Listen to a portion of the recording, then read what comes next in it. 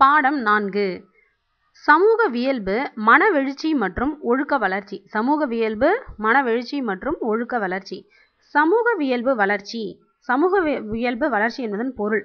Hurlock என்பவரது கருத்துப்படி Hurlock என்பவரின் கருத்துப்படி சமூக வளர்ச்சி என்பது சமூக தொடர்புகளில் முதிர்ச்சி பெறுதல் என்பதே.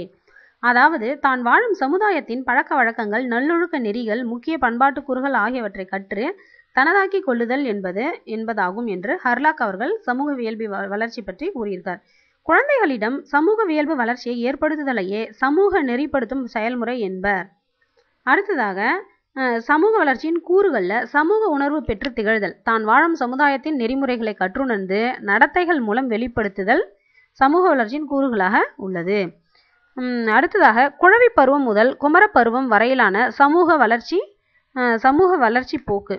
பிள்ளை பருவத்தில்தான் கூட்டுணர்ச்சி முதிர்ச்சி ஏற்ப பெரு பெறப்படுகிறது. பிள்ளை பருவத்தில் கூட்டுணர்ச்சி முதிர்ச்சி பெறுகிறது. குழவி பருவத்தில் பெற்றோரை முழுவதும் சார்ந்த பருவமாகும். குழவி பருவம் பெற்றோரை முழுவதும் சார்ந்த பருவமாகும். பிள்ளை பருவத்தை கூட்டாளி குழு பருவம் என்று கூறலாம்.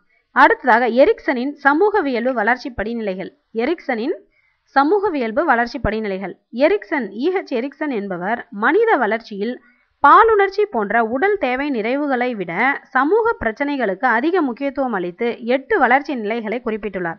குழந்தை வளர வளர அதன் சமூக தொடர்பு விரிவும் சிக்கலும் அடைகிறது. இதன் விளைவாக அது குறிப்பிட்ட வளர்ச்சி நிலைகளில் குறிப்பிட்ட சமுதாய பிரச்சனைகளை தீர்க்க வேண்டிய கட்டாயம் எழுகிறது.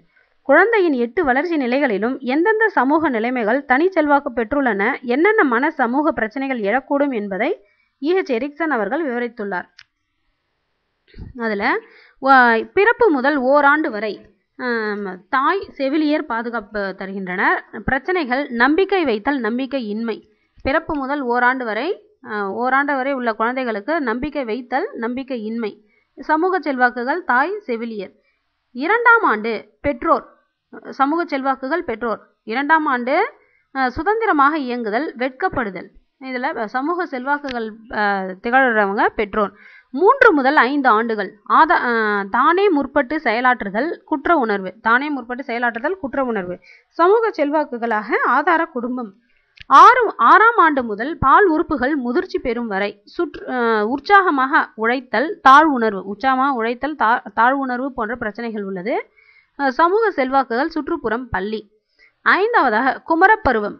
குமரப்பருவத்தில் தன்னை பற்றிய நிலையான கருத்து தன்னை பற்றிய தெளிவற்ற குழப்பமான கருத்து பிரச்சனைகளாக உள்ளது. சமூக செல்வாக்குகள் ஒப்பார் குழு பிற குழுக்கள் விரும்பும் தலைமை.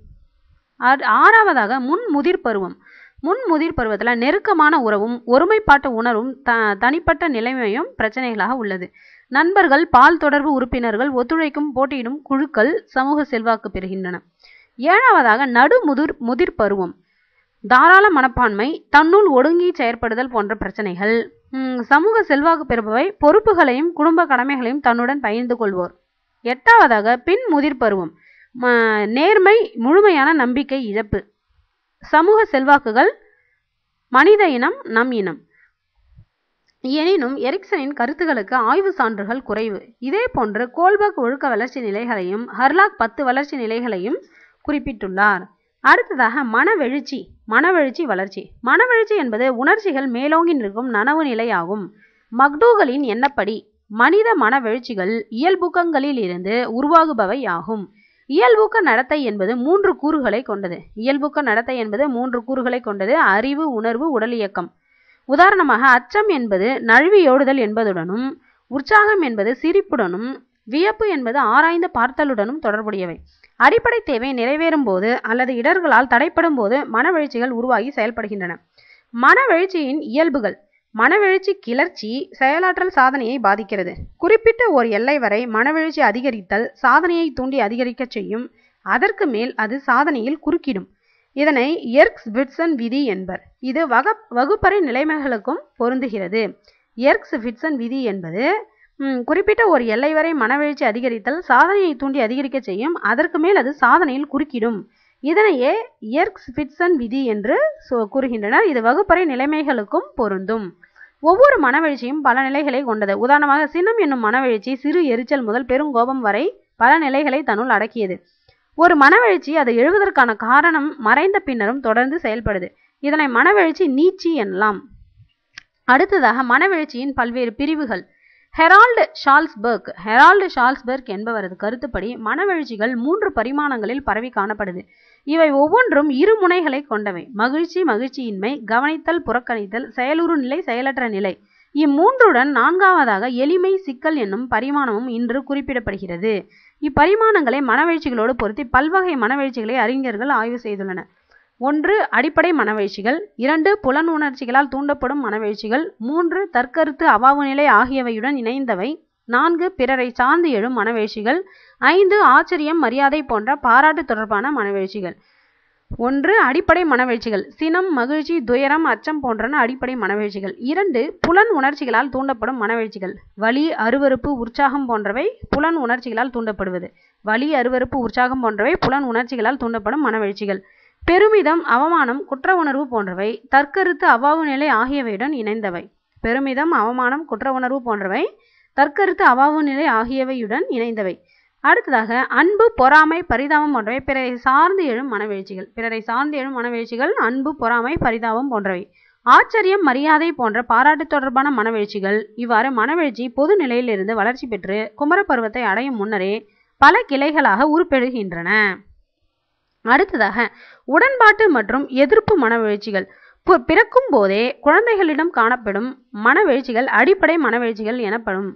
வாட்சன் என்பவரது கருத்துப்படி சினம் அச்சம் அன்பு என்னும் மூன்றே அடிப்படை மனவெழுச்சிகள் ஆகும். ரீபோ மக்டூகல் ஹாலிங்வர்த் போன்றோர் நான்கினுக்கும் மேற்பட்ட அடிப்படை மனவெழுச்சிகளை சுட்டிக்காட்டுகின்றனர். ஃப்ரிட்ஜஸ் என்பவர் கருத்துப்படி பிறந்த குழந்தையிடம் பொதுப்படையான உள்ள கிளர்ச்சி மட்டுமே காணப்படுகிறது. மகிழ்ச்சி தரக்கூடிய மனவெழுச்சிகள் யாவும் உடன்பாட்டு மனவெழுச்சிகள் எனப்படும். இவற்றால் மனநலம் மேம்படும். செயல்திறனும் அதிகரிக்கும். மகிழ்ச்சியற்ற நிலையை உண்டாக்கும் மனவெழுச்சிகள் யாவும் எதிர்ப்பு மனவெழுச்சிகள் என்று அழைக்கப்படுகிறது. இவற்றின் அளவு அதிகரிக்கும் போது மனிதனின் உடலும் உள்ளமும் கேடுறுகின்றன மனநலம் பாதிக்கப்படும் வாய்ப்பும் அதிகரிக்கிறது. மனவெழுச்சியை பாதிக்கும் காரணிகள்.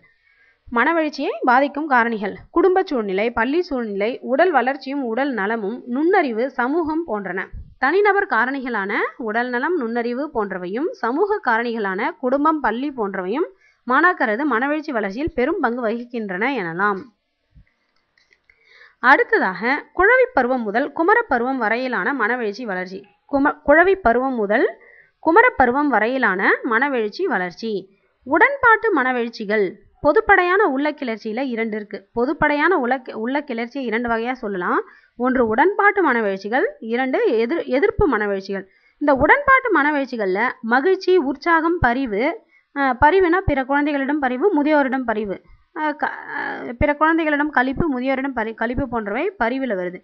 மகிழ்ச்சி உற்சாகம் பரிவு போன்றன உடன்பாட்டு மனவெழுச்சிகள். எதிர்ப்பு மனவெழுச்சிகளில் மகிழ்ச்சியின்மை சினம் அருவருப்பு அச்சம் துயரம் பொறாமை போன்றவை எதிர்ப்பு மனவெழ்ச்சிகளாக உள்ளது. குழவி பருவத்திலும் முன்பிள்ளை பருவத்திலும் மனவெழ்ச்சிகளில் ஓர் இருமுக போக்கு நிலை தோன்றுகிறது என்று ஃப்ராய்டு கருதுகிறார். குழவி பருவத்திலும் முன்பிள்ளை பருவத்திலும் மனவெழ்ச்சிகளில் ஓர் இருமுக போக்கு நிலை தோன்றுகிறது என்று ஃப்ராய்டு கருதுகிறார். மாணவர்களது மனவெழுச்சிகளை பண்படுத்துதல்.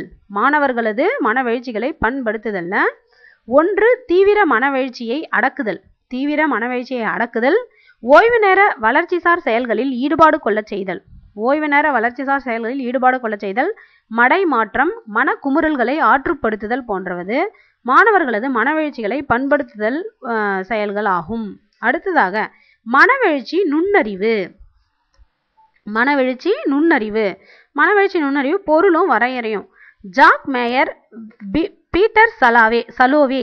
Jack Mayer Jack Mayer Peter சலோ Salovey ஆகிய இருவரும் ஆயிரத்தி தொள்ளாயிரத்தி தொண்ணூறு முதல் மனவெழுச்சி நுண்ணறிவு என்னும் கருத்தை தமது ஆய்வுகளின் மூலம் பிரபலப்படுத்தியிருக்காங்க. அவர்கள் முன்மொழிந்த வர வரையறையானது மனவெழுச்சி நுண்ணறிவு என்பது சமூக நுண்ணறிவின் உள் அங்கமாகும் தமது மற்றும் பிறரது உணர்வுகள் மனவெழுச்சிகள் ஆகியவற்றை கண்டறிந்து முறைப்படுத்தும் அறிவை பெற்றிருப்பதோடு அவற்றை தமது சிந்தனைகளையும் செயல்களையும் நெறிப்படுத்தி மேம்படுத்திக் கொள்வதற்கு பயன்படுத்தும் ஆற்றலை பெற்றிருப்பதே மனவெழுச்சி நுண்ண நுண்ணறி நுண்ணறிவாகும். லீ ப்ரோ புரோவேதனி என்பது என்பவரின் கருத்துப்படி மனவெழுச்சி நுண்ணறிவு என்பது உணர்வுகளையும் மனவெழுச்சிகளையும் அறிந்து கொண்டு அவற்றை தம்மை நெறிப்படுத்தவும் பிறரோடு தாம் கொண்டுள்ள உறவுகளை பயன்மிக்கதாக ஆக்கிடுவதற்கு பயன்படுத்தவும் பெற்றிருக்கும் ஆற்றலாகும். இரண்டாவதாக எஸ். ஹெயின் என்பவரின் கூற்றுப்படி மனவெழுச்சிகளை உணர்தல் வெளிப்படுத்துதல் அடையாளம் காணுதல் நினைவில் இருத்தல் அவற்றை பயன்படுத்தி கற்றல் நெறிப்படுத்துதல் ஆகியவற்றில் மேம்பட்ட ஆற்றலை ஒருவர் இயல்பாக பெற்றிருத்தலை குறிப்பதே மனவெழுச்சி நு- நுண்ணறிவு ஆகும். அடுத்ததாக மனவெழுச்சி நுண்ணறிவின் உட்கூறுகள். மனவெழுச்சி நுண்ணு மனவெழுச்சி நுண்ணறிவின் உட்கூறுகள். ஜாக் மேயர் மற்றும் பீட்டர் சலோவே மனவெழுச்சி நுண்ணறிவின் உட்கூறுகளான பின்வரும் நான்கினை குறிப்பிடுகின்றனர். மனவெழுச்சியினை உணர்தல் மற்றும் வெளிப்படுத்துதல் மனவெழுச்சியினை சிந்தனையில் பயன்படுத்துதல் மனவெழுச்சிகளை புரிந்து கொண்டு பகுத்தாய்தல் மனவெழுச்சிகளை நெறிப்படுத்தி சுய முன்னேற்றத்துக்கு வழிவகுத்தல்.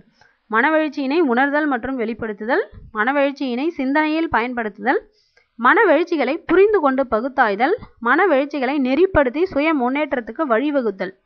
அடுத்ததாக ஒழுக்க வளர்ச்சி. ஒழுக்க வளர்ச்சி என்பதன் பொருள் சமூக அறநெறிகளை அறிந்து அதன்படி சட்ட ஒழுகல் சமூக அறநெறிகளை அறிந்து அதன்படி சட்ட ஒழுகல் ஒழுக்க வளர்ச்சி எனப்படும். ஒட்- ஒட்ட ஒழுகல். சமூக அறநெறிகளை அறிந்து அதன்படி ஒட்ட ஒட்ட ஒழுகல் ஒழுக்க வளர்ச்சி எனப்படும். குழந்தைகளிடம் ஏற்படும் ஒழுக்க வளர்ச்சியின் நிலைகள். உளவியலாளர்கள் ஒழுக்க வளர்ச்சியில் நான்கு நிலைகளை குறிப்பிடுகின்றனர். முதல் நிலை பட்டறி நிலை. இந்நிலையில் மகிழ்ச்சி துன்பம் எனப்படும் இரு இலக்குகளால் குழந்தையின் நடத்தை கட்டுப்படுத்தப்படுகிறது. மகிழ்ச்சி தரும் செயல்களில் குழந்தைகள் ஈடுபடுவர். தொலை தரக்கூடிய செயல்களை தவிர்ப்பர். இது முதல் நிலை பட்டறி நிலை எனப்படுகிறது. இரண்டாவது நிலை குழந்தையானது தன்னை விட மூத்தோரான பெற்றோர்கள் ஆசிரியர்கள் போன்ற தம் மீது ஆதிக்கம் செலுத்துவோரின் சொற்படி நடக்க தொடங்குகிறது. இந்நிலை ஆதிக்க நிலை அல்லது ஆளப்படு நிலை ஆகும் முதல் நிலை பட்டறை நிலை இரண்டாம் நிலை ஆதிக்க நிலை அல்லது ஆளப்படு நிலை ஆகும் மூன்றாவது சமூக நிலையில் சமூக பழக்க வழக்கங்களால் அதன் நடத்தை பாதிக்கப்படுகிறது. சமூக ஏற்புள்ள நடத்தையையே குழந்தை மேற்கொள்ளும். நம்மில் பலருடைய ஒழுக்க வளர்ச்சி இந்நிலையிலேயே தேங்கி நிற்கும். இதைவிட உயரிய நிலையொன்றும் உண்டு. இதை தனித்த நிலைமை எனலாம். இந்நிலையில் உள்ளவனின் நடத்தை அவன் கொண்டுள்ள உயர் ஒழுக்கம் பற்றிய குறிக்கோள்களால் உந்தப்படுவதாகும். இந்நிலையில் உள்ளவன் சமூகமே திரண்டு வந்து எதிர்த்த போதிலும் தான் உறுதியாக நம்பும் அறநெறிகளில் நின்றும் பிறழமாட்டான். அடுத்ததாக பியாஜேயின் படிநிலைகள். ஒழுக்கம் பற்றிய இயல்பான நோக்கம் ஒழுக்கம் பற்றிய சார்பு நோக்கம் ஆகியவற்றை பற்றி பியாஜே விளக்கியுள்ளார். கோல்பர்க்கின் படிநிலைகள். கோல்பர்க் என்பவர் என்பவரின் விளக்கம் பியாஜேயின் கருத்துக்களுடன் தொடர்பு கொண்டதாகும். அறிவு வளர்ச்சியில் பியாஜே குறிப்பிடும் செயல்களான தன்வயப்படுதல் பொருந்திப் போதல் ஆகிய இரண்டும் ஒழுக்க வளர்ச்சியிலும் காணப்படுவதாக கோல்பர்க் கருதுகிறார். பிறரது பார்வையிலிருந்து ஒரு நிகழ்ச்சியை நோக்கும் திறன் ஒழுக்க வளர்ச்சியில் பங்கு பெறுகிறது. கோல்பர்க் குழந்தைகளின் ஒழுக்க வளர்ச்சியில் மூன்று நிலைகளை குறிப்பிடுகிறார். இவை ஒவ்வொன்றிற்கும் இரு பகுதிகள் உள்ளன. முதல் நிலை மரபுக்கு முற்பட்ட நிலை இரண்டாம் நிலை மரபு நிலை மூன்றாம் நிலை மரபுக்கு பிந்திய நிலை. அடுத்ததாக ஒழுக்க பயிற்சி. ஒருவன் ஒழுகும் முறையே செயல்படும் முறையே ஒழுக்கம் எனப்படும். இதில் இரு வகை உண்டு. அவை நல்லொழுக்கம் தீயொழுக்கம் என்- என என்பனவாம் ஒழுக்கம் என்பதற்கு நாம் நல்லொழுக்கம் என்ற பொருளே கொள்கிறோம். அடுத்ததாக தற்கருத்து தற்கருத்து என்பதன் பொருள். தற்கருத்து என்ற சொல் முதன் முதலில் லெக்கி என்பவரால் அறிமுகப்படுத்தப்பட்டு எல்இசி கேஒய் லெக்கி என்பவரால் அறிமுகப்படுத்தப்பட்டு பின்பு காரல் ரோஜர்ஸின் நெறிசாரா அறிவுரை பகர்தல் மூலம் பரவலாக அறியப்பட்டது. பின்பு காரல் ரோஜர்ஸின் நெறிசாரா அறிவுரை பகர்தல் மூலம் பரவலாக அறியப்பட்டது. தன்னை பற்றி ஒருவன் கொண்டுள்ள மனப்பான்மைகள் உணர்ச்சிகள் போன்றவற்றின் தொகுப்பே தற்கருத்து எனப்படும். தன்னை பற்றி ஒருவன் கொண்டுள்ள மனப்பான்மைகள் உணர்ச்சிகள் போன்றவற்றின் தொகுப்பே தற்கருத்து எனப்படும். ஒவ்வொரு குழந்தையும் தன்னை பற்றிய உண்மை விவரங்களை பெறுதல் வேண்டும். எந்த அளவு இவை குழந்தை மன நிறைவையும் வெற்றி வெற்றி உணர்ச்சியையும் தருவனவாக அமைகின்றனவோ அந்த அளவுக்கு அதன் தற்கருத்து உடன்பாட்டு முறையில் அமையும். ஒரு குழந்தை பெற்றோர்களாலும் ஆசிரியர்களாலும் அது அடையும் வெற்றி தோல்விகளுக்காக அன்றி அது குழந்தை என்பதற்காக மட்டும் விரும்பப்பட்டால் அதனிடம் தன்னம்பிக்கை எழுந்து நல்ல தற்கருத்து அமையும். ஆனால் வெற்றி தோல்விகளினின்றும் தங்கள் தாங்கள் அடையக்கூடிய மதிப்பு நிலைகளுக்காக பெற்றோர்களும் ஆசிரியர்களும் அக்குழந்தையை விரும்பினால் அது சுயமதிப்பை பெற இயலுவதில்லை. அதன் தற்கருத்து எதிர்மறையிலானதாக அமைகிறது.